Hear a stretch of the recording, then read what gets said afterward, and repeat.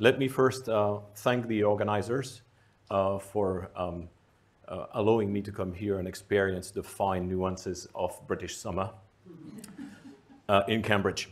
Uh, so um, once again, uh, this is going to be very difficult. I've been tasked to give a review of the formation of galaxies with cosmological hydrodynamical simulation in 20 minutes.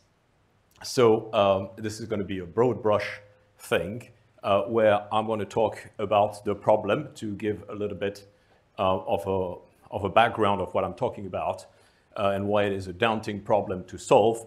Um, I'm going to then move on to give a brief uh, historical perspective and update you on the current status of this cosmological simulation.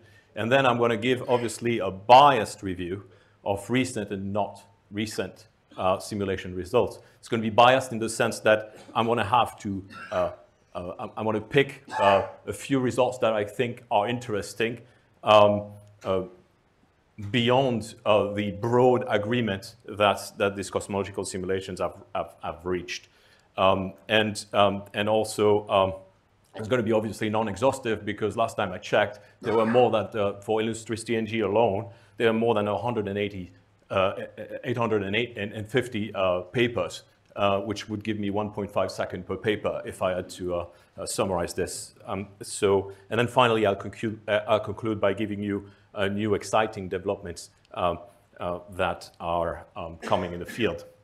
So let's start with arguably what is the most obvious reason why this is a, a daunting problem uh, or tremendous challenge for, uh, for uh, computational simulation.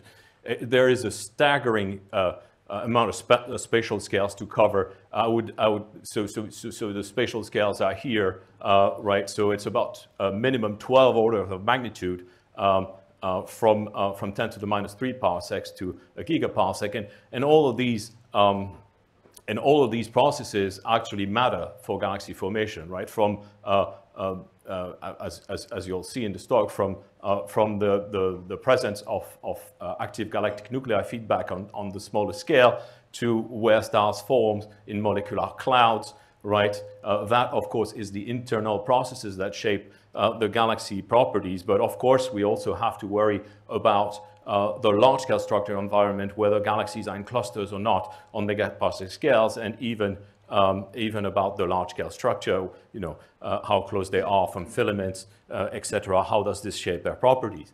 And what has been done um, uh, is actually uh, split uh, the problem into, into two bits, which are indicated by the blue arrows, right? The cosmological boxes, which, is, which I will talk at the beginning of my talk, which allow you to do statistics but do not uh, uh, resolve the galaxies very well, right? Because their minimum resolution scale is on the order of kiloparsec or a little bit better. And then a whole slew of zooms uh, of the zoom approach where you retain the large scale environment but modeled at very uh, degraded resolution and you go down to the parsec scales where you start resolving the molecular cloud. And of course, um, subgrid models uh, in all these problems are unavoidable, right? So you see even the zooms here at parsec scale um, do not probe uh, still three orders of magnitude below the scale at which uh, supermassive black holes and, and AGN feedback lives. So um, a very, very challenging problem. So of course, uh, also, the, the thing to take into account is that this is a linear scale. We're 12 orders of the magnitude. Really, we don't want to do 1D simulations, we want to do 3D simulations. So it's really 36 orders of magnitude that we have to model. Uh, and if that was not enough, uh, this is uh, uh, fundamentally an inverse cascade problem. Uh, and that's what makes it very, very challenging. What I mean is that what actually happens on the small unresolved scales for which one has to employ the subgrid models, right, actually shapes the global properties of galaxies on the scale that are resolved by the simulation, right? And so this is a point that's, uh, that's uh, uh, made by this cartoon illustration where I simply um, take the, um, the galaxy stellar mass function here, shift it on a plot where I plot the halo uh, mass function and multiply it by the baryon fraction. And what you see immediately is that they're at the low mass end and at the bright mass end, there's a major difference in shape, right? Uh, which tells you that either you're overestimating uh, in, uh, in cold dark matter uh, models uh, the number of objects at the high mass end, uh, by orders of magnitude, or you're estimating their mass by up to an order of magnitude. And of course, the way to uh, resolve that uh, uh, discrepancy, major discrepancy in cosmological simulations, is to have AGN feedbacks. Now, AGN feedback at the right hand, um, and, and stellar feedback, also a subgrid model, uh, at, the, um, at the low mass end. Of course, AGN feedback is, is, uh, is actually the least resolved of the processes and the least well known that we know, and it actually does impact um, uh, majorly uh, the properties of most massive galaxies, which should be the best resolved uh, objects in the simulations. Um, and so um, I realize that it's, it's a pretty unsatisfactory statement, but I believe that most of the differences in current um, uh, in galaxies properties that are, uh, that are reported by the, by the various groups um, main, are mainly driven by the different subgrid model implementation that they use to address this problem rather by, than the, by the method that they use to solve the partial equations of hydrodynamics. And I'll come back to that briefly. Um, of course, after laying out for you this uh, somewhat pessimistic view, I'd like to, uh, uh, to uh, go to a, a, historical perspective um, uh, to um, cheer us up a little bit uh, and show us that, uh, that we've co actually come a long way in this field. The first thing I want to point out is that it's a very, very young field. It's actually, um, it's actually younger than the IOA, right? Um, it's, um, uh, it, it, was all uh, pioneered in the 1990s by people that, um, early 1990s by people like Katz, Hernquist, Weinberg, but also Cen and Ostriker, et cetera, et cetera. Um, um, Gus Evrard, um, et cetera. an example of the kind of resolution that was available at this time is given on this, on, on, this, uh, on this plot, right? where you see that the green dots are the cold dense gas that they call in this paper galaxies, right? With a gas mass particle of 10 to the 9 solar masses and a gravitational softening of 20 kiloparsec, right? So essentially, we've moved um, from a regime, and so this is, this is an example in the Cen and Ostriker paper of the same year, 92, uh, the galaxies are actually dots. So the galaxy is the subgrid model here, or if you want, resolved with a handful of particles. All right. To uh, what is now, I, I cut out a, volume from the Illustris TNG 100 simulation, right, of the same, um, of the same size, and the resolution, the, uh, the resolution is given here. So a, a, thousand times better math resolution and a gravitational softening of the order of a kiloparsec, which means that uh, these galaxies are, uh, are um, resolved or, or about resolved um, in this field, right? And of course, um, I'm cheating because we also have in the Illustris TNG 100 times more volume than we had in this early simulations. So we've come the long way, right? Um, um, the, the, the, the, second point I want to make is that uh, even though uh, we, uh, we might be worried about um, about the subgrid model effective, uh, affecting the large scales, um, uh, the early successes of such simulations were with uh, mapping the properties of the Lyman-alpha forest on large scales, right? Now, the new generation of simulations haven't altered this picture, right? So there is hope that if you push the subgrid models very far down the scale, right, as far down as possible, uh, and you look far for properties that are far away enough from these scales, uh, they might not be affecting the properties uh, that much. And the reason for that is that because what you do on these small scales is ultimately coupled to the hydrodynamics equations uh, that you're actually solving, right? And so uh, hopefully that is handled um, uh, pretty, pretty well. All right, so this is a, a slide that I uh, borrowed from the TNG collaboration uh, which gives you the number of galaxies that are resolved with a mass of 10 to the 9 solar matter that, that, that are resolved, uh, version of the baryon mass resolution. And you have these two boxes, the, the large box regime um, um, that, um, that I will discuss uh, in a minute, and the zoom simulation. So you see uh, the trade-off, right? not a lot of resolution, but a lot of statistics here. and um, um, and of course, high resolution, uh, uh, generally more physics as well. I'll come back to that in a minute, um, but very few galaxies uh, in the zoom regime. Okay, so, and uh, in between, there's a no man's land um, where, um, where they've put the TNG50 and I've added the New Horizon um, Galaxy uh, simulation here, uh, which, is, which are in between, not quite the resolution of zooms, but uh, uh, a large number uh, of galaxies there, which, um, which will be useful for me to illustrate what are the differences between the two, because especially with the New Horizon, which is a uh, zoom simulation of uh, a sub-volume of the uh, Horizon AGN simulation, I can, um, I can actually um, uh, show you how different galaxies look like. So here you have the same galaxy um, on the top, edge on and, and, and face on and edge on view in the Zoom New Horizon simulation, right? which, is, which is exactly the same as, as as the galaxy in the, in the Horizon AGN um, uh, simulation, which is, which is right there. So you can't really see the numbers, but if you look at the dark matter halos on, the, on, on this side, right, the mass has converged to, uh, to a percent or so, right? But the gas looks different. Uh, and of course, the galaxy itself looks vastly different, being resolved with a, with a few thousand particles here to, uh, uh to a million particle um, in this simulation. And you can see that we, um, uh, we can now talk, uh, uh, the difference, the main difference is that the, if you want to study the, the structure of the thin disk, etc., etc., you can only do it in the boxes where the resolution uh, is much better. Um, I'm going to illustrate, I'm going to talk about, um, uh, so I have a brief slide about the Horizon AGN simulation because, which is typical of these boxes. What I'm going to say is more general than that, and I'm going to show you comparisons of all the the simulation properties in different simulations by different groups. But the reason why I use this is not only I'm familiar with this, uh, with this kind of simulation, this, this, this, this um, uh, but, but also it has, it has a, a, a, um, a, counterpart which is called Horizon No AGN, which is exactly the same identical simulation, except we've switched off AGN feedback in it, which allows me to, in turn, show you uh, what this subgrid model is doing to the properties of the galaxies with, uh, with much more uh, detail. Okay, so I need to speed up a little bit and tell you about uh, the comparisons and the, the, the, the uh, between the simulations, right?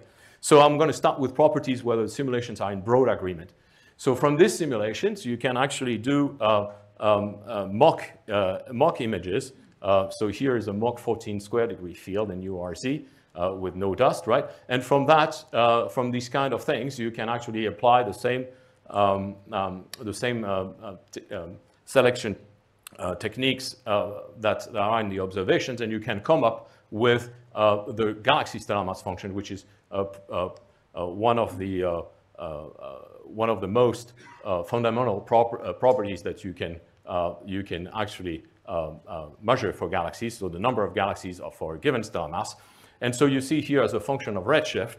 Um, um, and what I want you to, so the, the, gray, the gray lines are the Horizon AGN simulations and the, and the, and the uh, uh, dashed uh, pink lines are the ones with no AGN. Okay, so the, the exact identical counterpart without the AGN, and the color points are the data. And you see, as a function of redshift, there is broad agreement, right? And this broad agreement extends, so this is from, um, uh, from a uh, uh, recent review by, by Thorsten, um, where he plots at redshift zero all the, the, um, um uh, the uh, galaxy stellar mass function from all the simulations. And there is broad agreement to the level of factor two or three uh, between all the simulations. Okay, so that's one. that's the main. that's broad agreement for the main um, property, it extend, this broad agreement extends a little bit further, right? It extends, uh, and I'm showing you, uh, of course, there's plenty of scaling relations that I could show you here where there's broad agreement. The one that I decide to show you is the, um, is the um, uh, stellar mass versus radius, right?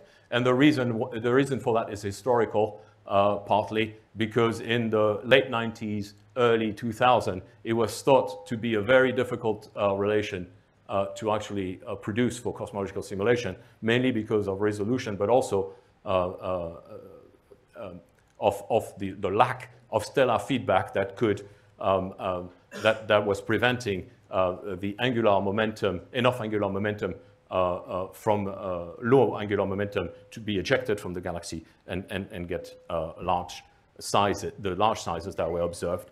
So here what you see um, um, as an illustration point of that is what happens in the Horizon AGN simulation. So the, the dashed are the, um, uh, the, the, data and the, the, solid curves are the simulation split into passive and active galaxies.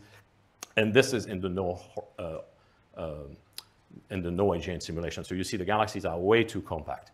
So you can't really see uh, from this picture uh, uh, the compactness, but what you see uh, is that uh, without AGN and with AGN, so these are the same galaxies in both simulations again, the morphology completely changes, right?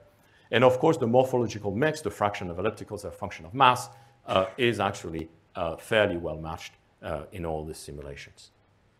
Right. Since the, uh, uh, so what you can do, what, what's an interesting result that has come out of this simulation is since this AGN feedback uh, is very important for uh, supermassive galaxies, you can look at the properties of supermassive black holes through cosmic ages. Uh, once again, this is taken from the Horizon AGN simulation. The data points are the masses of the black holes in the simulation, um, as, uh, are the red points here, um, again, as a function of redshift, and the, and the bands are, are observational estimates.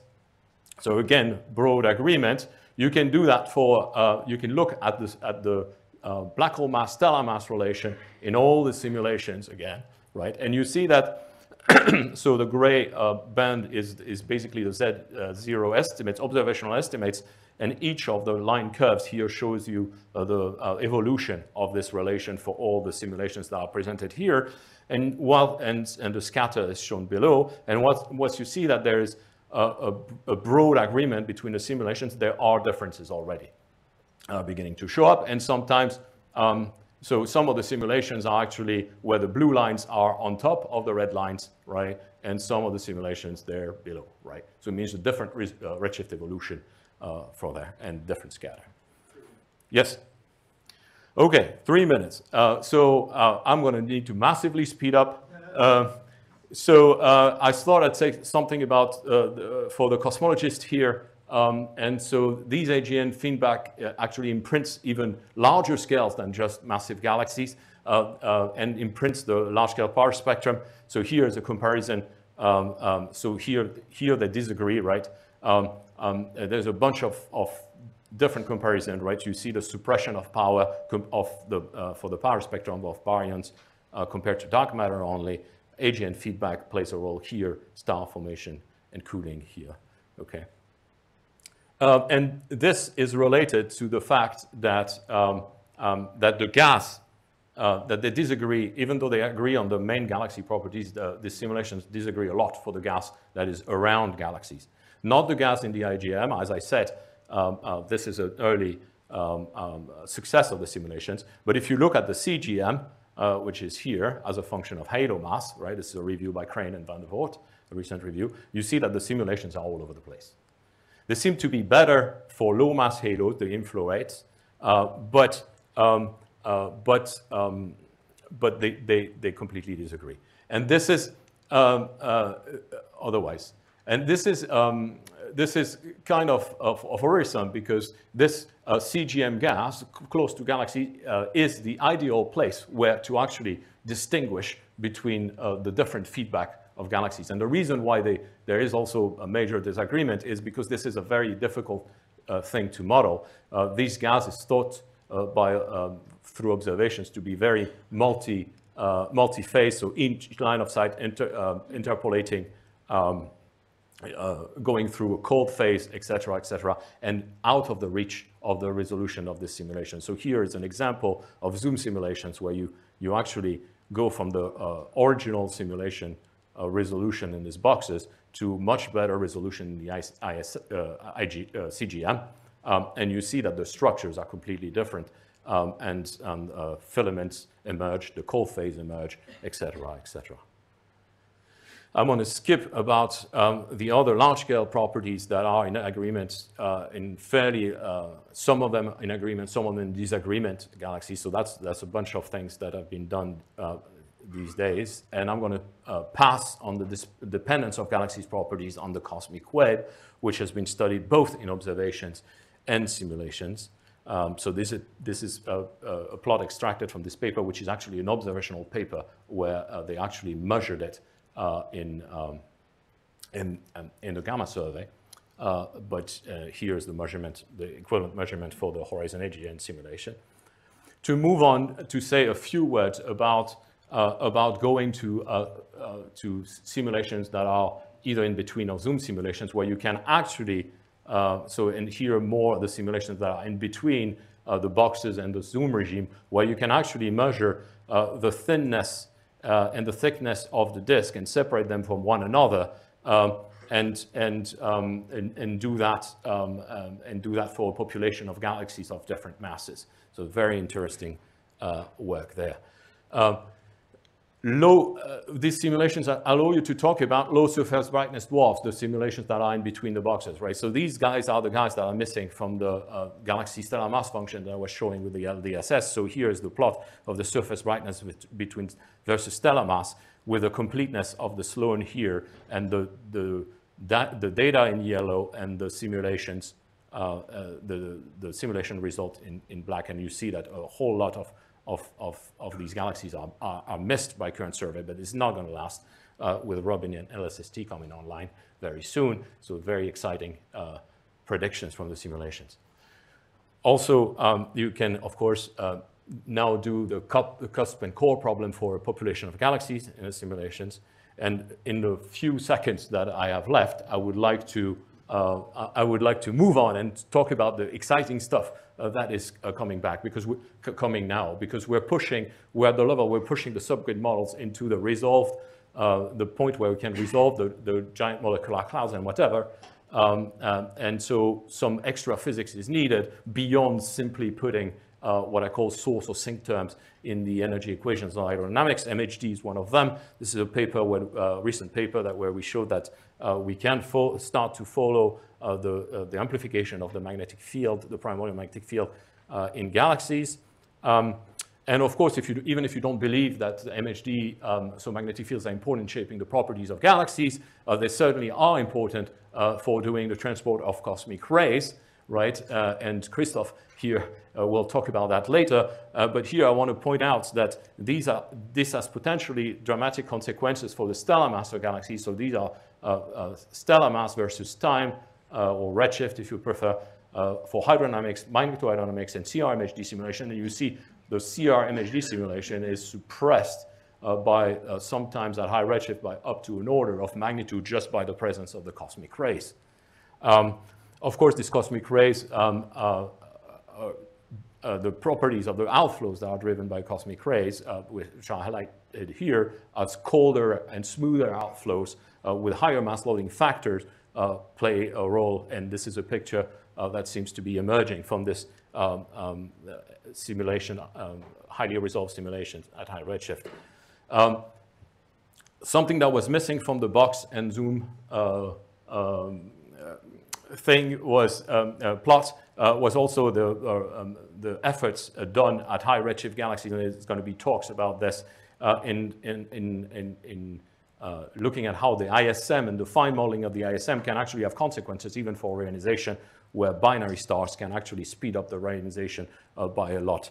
Um, and finally, um, um, two extensions of this is that we are pushing, uh, we are now uh, pushing this not only to, to, to, do this radiative transfer and self-consistently coupled to chemistry uh, and dust uh, uh, in, at high redshift, but we're pushing it in the, in the low redshift limit. And we are able to recover, uh, um, this is a mass fraction as a function of temperature, the multiphase ISM that we see in galaxies. This here is a nice picture of the N2 emission in one of, of, of the simulated galaxies, right? Um, this uh, is, uh, includes dust uh, modeling, dust destruction, and grain formation, which is very important for all the thermochemistry. So that's, that's where we're going. And I want to put my conclusions right now and hope I haven't gone too far. Thank you.